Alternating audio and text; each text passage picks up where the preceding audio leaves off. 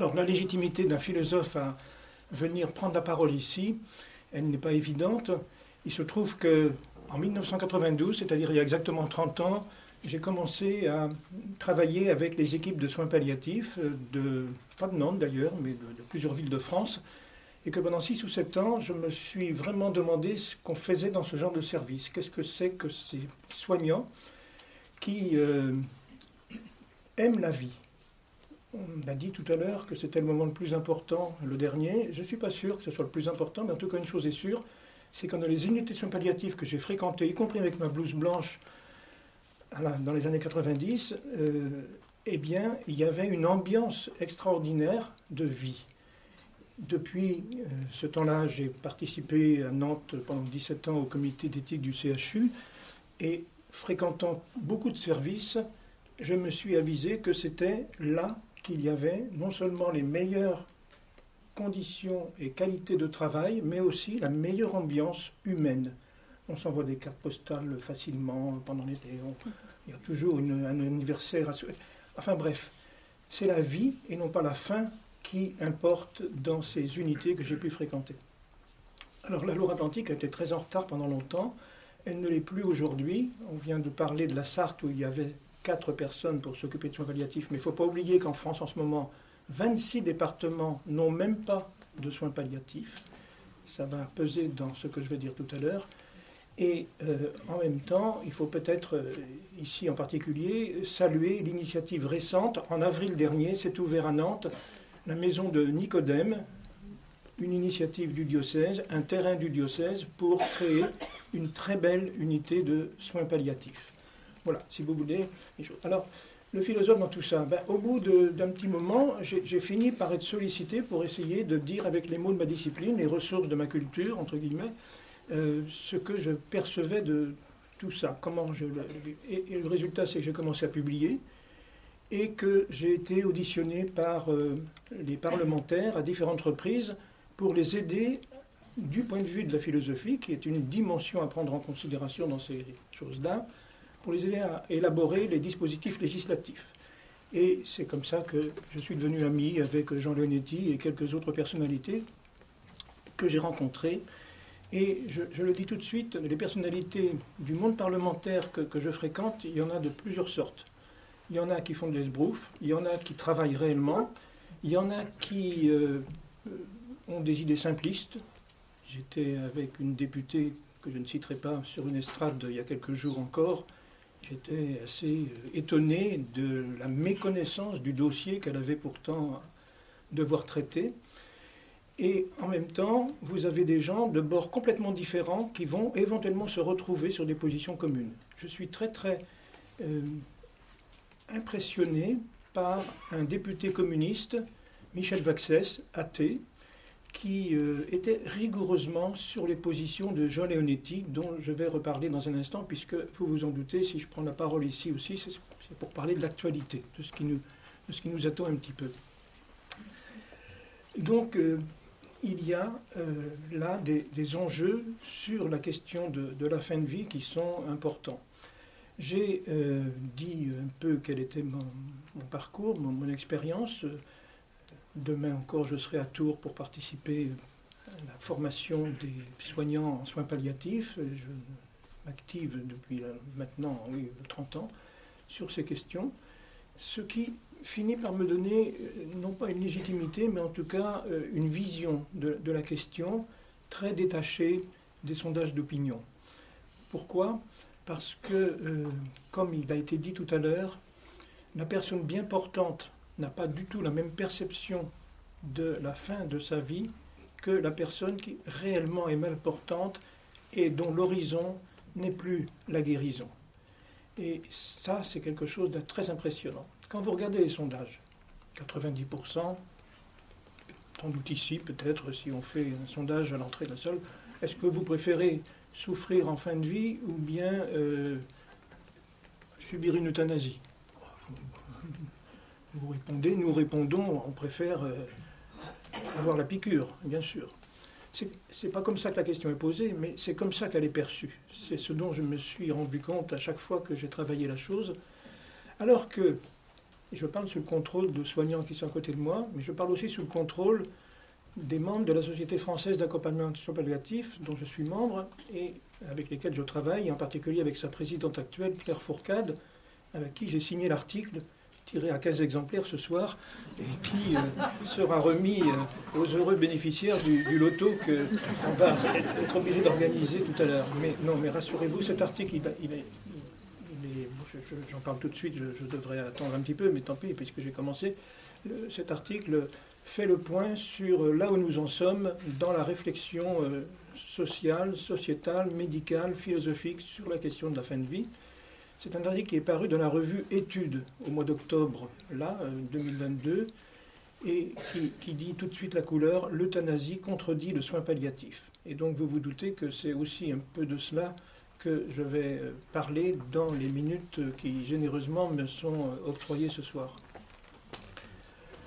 Parce qu'il y a là des, des, enjeux.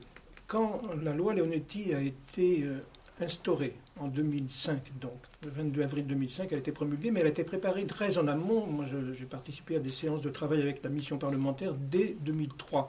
C'est vous dire qu'il y a eu un travail très sérieux, très très solide. Nous avons été 81 personnes auditionnées et nous avons été tous d'accord pour inscrire dans la loi, ça a été rappelé tout à l'heure, l'interdiction de l'obstination déraisonnable, l'acharnement thérapeutique.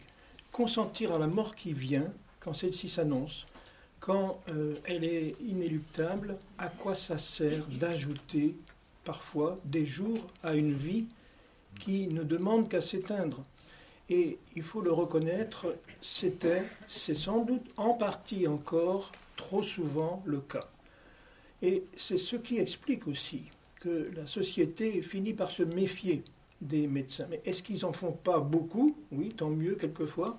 Est-ce qu'ils n'en font pas trop et, donc, est-ce qu'ils ne font pas mal Et donc, on, voit là qu'il y avait un enjeu important. Il a été dit clairement dans la loi que ce n'était pas simplement une recommandation, ce qui était déjà inscrit dans le code de déontologie des années précédentes. Il a été dit que c'était interdit. Interdit, ça veut dire qu'un médecin qui s'autoriserait à faire une obstination déraisonnable, comme on l'appelle désormais l'acharnement thérapeutique, pourrait être condamné en justice. Et d'ailleurs, ça a été le cas. Si ça vous intéresse, vous donner les références.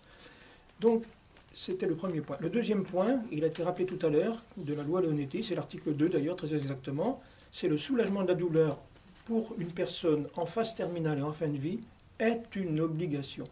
Ça ne veut pas dire qu'on supprime la douleur. Supprimer la douleur, ça pourrait vouloir dire euh, peut-être euh, rendre complètement hébété, et ça n'est pas forcément le but. Parfois, on n'a pas trop de solutions, il faut en effet pratiquer des sédations, le plus souvent réversibles. Une sédation, ça peut aller jusqu'à un défaut de vigilance qui plonge dans le coma, mais euh, en tout cas, le soulagement de la douleur pour un malade incurable et en fin de vie est une obligation, même si, et le législateur l'a ajouté, même si ce soulagement de la douleur devait abréger les jours qui restent à vivre. C'est un point important. Mais figurez-vous que ce qu'on a mis dans la loi en 2005, pour moi des quatre lois, c'est de loin la plus importante, même si ensuite j'ai été auditionné pour d'autres, pour évaluer cette loi et pour euh, voir un peu comment on pouvait prolonger les choses éventuellement.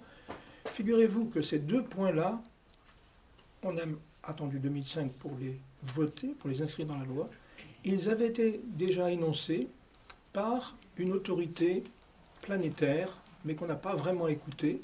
Et je le dis d'autant plus volontiers que nous sommes ici dans un lieu euh, interparoissial, c'est le pape Pie XII, qui passait pas pour un pape particulièrement, euh, comment dire, en flèche, euh, progressiste, on n'était pas laxiste du tout en matière de morale. Et figurez-vous que dans des textes de 1957-1958, on les a cités au Parlement d'ailleurs, hein, lorsque j'avais été auditionné, c'est même pas moi qui les ai cités, c'était mon voisin musulman. Figurez-vous, il connaissait très bien ces, documents-là. Moi, je les cite dans mes ouvrages aussi, bien sûr. Le pape Pie XII avait dit exactement la même chose. Il avait dit quand au réanimateur italien qui était venu le rencontrer, eh bien, il ne faut pas toujours réanimer. Il faut quelquefois ne pas entreprendre une réanimation et il faut quelquefois interrompre une réanimation quand cela n'a plus de sens. Il faut accepter la mort qui survient et non pas chercher à tout prix à en retarder l'échéance. Et même chose dans un autre discours, quelques mois, à quelques mois d'intervalle, sur le soulagement de la douleur. Alors il le dit dans les mots de l'époque, il parle des narcotiques, aujourd'hui on parle des antalgiques, on parle des analgésiques. Il dit, bien sûr, un malade en fin de vie, en phase terminale, a droit à être soulagé, et même c'est un devoir de soulager sa douleur au maximum. Donc voilà, si vous voulez, des, points qui sont majeurs et qui sont bien souvent ignorés. Et on croit qu'on ne peut pas faire autrement pour abréger une souffrance que de supprimer le souffrant. Ce qui, convenez-en, est quand même un raccourci un petit peu curieux. Euh, Ce n'est pas la même chose, me semble-t-il, d'éliminer une personne ou de l'accompagner, comme euh, nos amis qui viennent d'intervenir nous l'ont expliqué tout à l'heure jusqu'au bout, y compris en écoutant, et sans jugement de valeur bien entendu, toutes les requêtes que très légitimement ces personnes sont amenées à faire. Ce que j'ai appris au contact des équipes de, soins palliatifs, c'est justement cette ambivalence permanente quand on est soi-même concerné. Ambivalence qui consiste toujours à dire je n'en peux plus de cette vie, arrêtez tout. Mais ça veut dire quoi? Ça ne veut pas dire mettez-moi une piqûre tout de suite. Ça veut dire je ne veux pas vivre le présent qu'on me fait vivre en ce moment. Il m'est insupportable. La même personne qui dit euh, faites-moi une piqûre docteur euh, va dire c'est encore un cas qui est arrivé il n'y a pas longtemps, on ne m'a pas fait mon rappel de Covid. mais oui, c'est ça l'ambivalence. Mais c'est permanent, mais c'est permanent ce genre de, situation. Alors voilà ce que je voulais dire, si vous voulez, dans un premier temps. Dans, le deuxième temps, je voudrais en venir à l'actualité. L'actualité, vous la connaissez, le 8 avril 2021, dans une niche parlementaire, de façon absolument imprévisible. Regardez les journaux des semaines qui précèdent les parlementaires, contre l'avis du gouvernement de l'époque, en tout cas contre l'avis de l'exécutif, ont fait une proposition de loi pour légaliser l'euthanasie, le suicide assisté, et tout cela sans préparation, sans information, sans débat public. Alors, c'est assez étrange, euh, ce phénomène de, de, rébellion parlementaire. On était évidemment à quelques encablures d'une réélection il y avait une sorte de verticalité du pouvoir qui a fait qu'il y a eu comme une fronde chez la majorité des, parlementaires et une manière de, s'affirmer. Souvenez-vous, janvier, février, le, gouvernement freine des quatre fers. Oh on, sort à peine du Covid. Est-ce que c'est bien le moment où on dit qu'il faut sauver des vies quoi qu'il en coûte, et puis dire en même temps, mais si vous voulez quand même qu'on vous supprime, là on peut vous faire une loi vite fait, bien fait. Et, moi qui travaillé beaucoup ces lois. Je n'ai pas dit tout à l'heure que dans mon parcours, j'avais enseigné la bioéthique à l'université pendant beaucoup d'années, donc je suis très familier des textes euh, sur ces questions. Jamais j'avais vu un, débat parlementaire aussi pauvre et, un projet de loi aussi, une proposition de loi exactement aussi, mal ficelé. Bref, pour des raisons euh, qui ne sont pas forcément glorieuses, euh, des dépôts d'amendements qui n'en finissaient pas, le débat a été interrompu, mais évidemment, la scène publique s'est emparée de la chose et la, campagne présidentielle euh, s'est engagée à aller plus loin. Alors, euh, je vais vous dire le fond, le fond de ma pensée, c'est qu'en effet, euh, il y a eu un retournement clairement de, situation d'Emmanuel Macron. Emmanuel Macron, dans sa première campagne 2017, n'avait pas du tout évoqué la question il avait plein de raisons de le faire. Il y en a une, en tout cas, euh, que je crois pouvoir et devoir valider, c'est qu'il avait travaillé de façon rapprochée, quand il était jeune, quand il avait 20 ans, avec un philosophe qui est celui qui m'inspire le plus, je ne le, cache pas, Paul Ricoeur. Paul Ricoeur travaillait dans la même revue qu'Emmanuel Macron, la revue Esprit, à laquelle je m'enorgueillis d'avoir moi-même aussi euh, collaboré, et euh, à mon avis, il avait compris que l'euthanasie n'était pas une bonne chose. Ricoeur était toujours très très hostile à cette légalisation. Pour beaucoup de raisons que je n'ai pas le, temps d'exposer ici, mais je, le fais dans, mes travaux écrits euh, très régulièrement. Bref, la conjoncture politique a changé, et quand on est politique, vous savez, ce qui compte, c'est le pouvoir, c'est le garder, et c'est pas forcément euh, défendre des convictions sans doute que ses convictions ont évolué aussi. on ne va pas rentrer dans des considérations un peu trop intimes, mais euh, il a quand même clairement dit à l'occasion de la décoration euh, la Légion d'honneur d'une meneuse de revue récemment, peut-être reconnu Lynn Renault, il a déclaré euh, qu'il allait suivre son avis à elle. Je n'avais jamais remarqué la compétence. Moi, j'ai mis 30 ans à essayer de. Enfin, j'ai mis 30 ans. honnêtement, j'ai mis 12 à 15 ans à bien maîtriser le sujet et depuis à, vérifier un certain nombre de choses. Mais enfin, c'est un sujet d'une complexité redoutable. redoutable. Donc, il a quand même déclaré que oui, il était pour et même pour la solution belge. On va reparler de la solution belge. Euh, et donc, euh, à mes yeux, euh, les dés sont pipés. C'est-à-dire que le président de la commission des lois de l'Assemblée, M. Houlier, a déjà déclaré que quels que soient les résultats de la convention citoyenne qui est en train d'être organisée, le, le, Parlement allait légiférer dans le sens prévu. Donc nous sommes avertis. C'est-à-dire que tout ce qui est en ce moment débattu est, sauf miracle, il faut croire au miracle, euh, sauf miracle, eh bien, euh, déjà plié, si je puis dire. Et pourtant, et pourtant bah, il faut alerter. Il faut alerter, et euh, alerter sur quoi? Alerter sur les enjeux qui sont considérables dans cette affaire. Parce que il convient peut-être d'abord de, de, rappeler que la Belgique, dont on fait aujourd'hui un modèle, a légalisé l'euthanasie en 2002 en même temps qu'elle a fait la loi sur les, soins palliatifs. Autrement dit, déjà, les deux choses étaient en coexistence. La France, au moins, euh, a essayé pendant plusieurs décennies de développer les soins palliatifs. Elle devrait continuer à le faire, j'y reviendrai dans un instant. Donc, en Belgique, comme en Hollande et au Luxembourg, c'est le Benelux, euh, un médecin peut euthanasier les patients, c'est-à-dire les faire mourir avec une piqûre, avec un rendez-vous. Le professeur Sicard, qui avait fait un rapport euh, à la demande du président Hollande en 2012, avait, parle, lui, d'exécution programmée. C'est un mot assez violent, mais au fond, pourquoi se cacher derrière son petit doigt et, Parce qu'aujourd'hui, on ne parle pas d'euthanasie, on parle d'aide active à mourir. Et c'est une façon évidemment euphémisée de euh, masquer la réalité d'un geste qui n'est quand même pas banal, qui n'est quand même pas neutre. J'ai rencontré plusieurs fois des soignants belges qui pratiquent des euthanasies. Et je vous jure que c'est vrai, mon expérience. Ils ont pleuré pendant qu'ils parlaient. Je n'ai pas jugé, jamais j'ai dit c'est pas bien ce que vous faites, ce n'est pas mon genre du tout. Je veux dire, c'est pas, pas on ne juge pas les personnes. Mais comment ça se fait qu'il y avait une petite larme qui coulait? Si c'est un geste aussi anodin, aussi banal que certains veulent le dire, pourquoi à ce moment-là ne signent-ils pas sur euh, le dossier médical ce qu'ils ont fait? Savez-vous que c'est le seul geste médical qui n'est pas inscrit dans le dossier? Savez-vous qu'en Belgique, la mort par euthanasie est déclarée officiellement et juridiquement mort naturelle? Qu'est-ce qui se passe quand on en est là? Alors, il se trouve que des médecins, ils sont rares, mais ils existent, en Belgique, refusent de pratiquer l'euthanasie parce que c'est contraire à leur éthique. Parce que pour eux, c'est l'inverse de leur métier. On est là pour soigner, pour prendre soin jusqu'au bout, y compris de celui qui demande à en finir. On va l'accompagner du mieux qu'on peut jusqu'au bout. Et donc, ces, soignants belges, un peu héroïques, euh, ont fini par euh, faire un témoignage public. Euh, alors, je ne savais pas, vous seriez aussi nombreux, mais j'ai quand même rapporté 3-4 livres écrit par eux.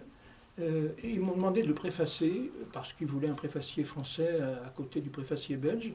Et donc ça a été pour moi aussi euh, l'occasion d'une, d'une rencontre avec une réalité de terrain. Depuis 20 ans, euh, eh bien, ils disent il y a une banalisation. C'est-à-dire ça va de soi que aussi bien pour les personnes en fin de vie que pour les familles, que pour les soignants, que pour les politiques, ça va de soi que c'est un geste qui est assimilable à un geste de soin.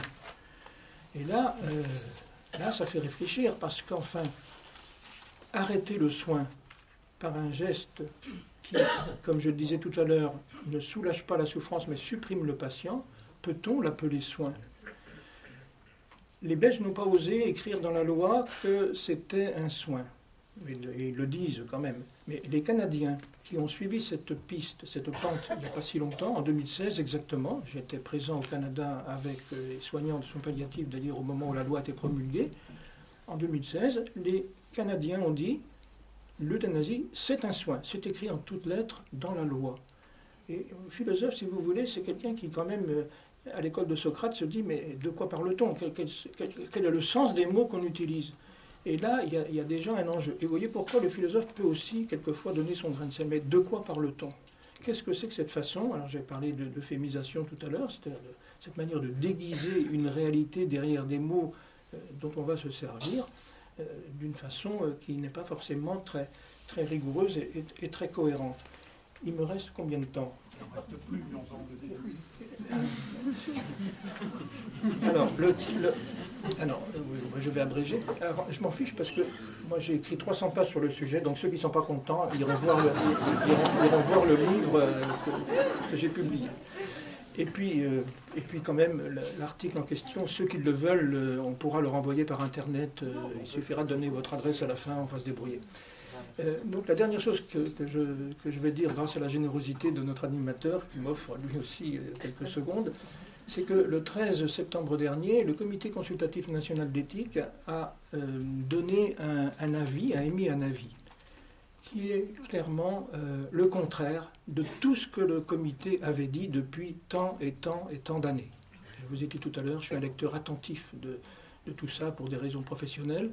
Et jamais je n'ai vu un article aussi mal ficelé, là encore, comme la proposition de loi.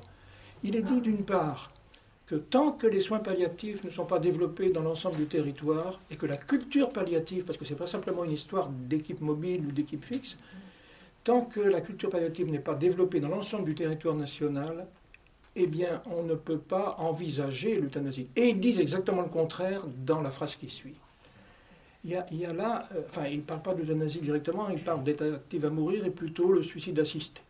C'est plutôt le suicide assisté au nom de la liberté.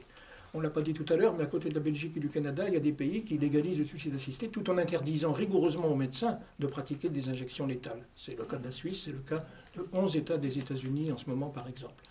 Donc, cet avis du, CCNE va contribuer évidemment à euh, chloroformer euh, l'opinion. Vous voyez bien, même les, même les sages du comité d'éthique, mais qui ont été choisis en fonction de ce qu'on voulait leur faire dire aussi. Alors, je, termine par une publicité pour euh, une séance qui aura lieu à Nantes le 8, le 8 décembre prochain, organisée par l'Agence régionale de santé, l'ARS. Euh, quel est le lieu? Ah oui, c'est la faculté de pharmacie, c'est l'amphibias. Il faut s'inscrire à l'avance. Et nous serons trois philosophes à dialoguer et nous serons en contradiction il y aura, nous sommes amis dans la vie privée, les trois en question, mais il y aura Frédéric Worms, qui est euh, un philosophe remarquable d'aujourd'hui. Il est d'ailleurs devenu directeur de l'école normale supérieure de la rue d'Ulm.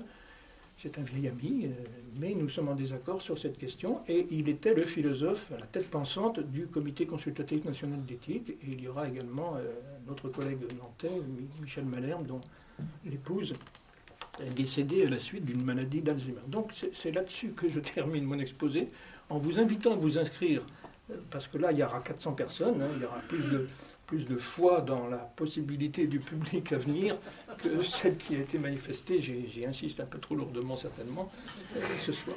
Voilà, donc j'ai dépassé mon temps, je m'en excuse, mais on, pourra reprendre la parole tout à l'heure. Merci Jacques.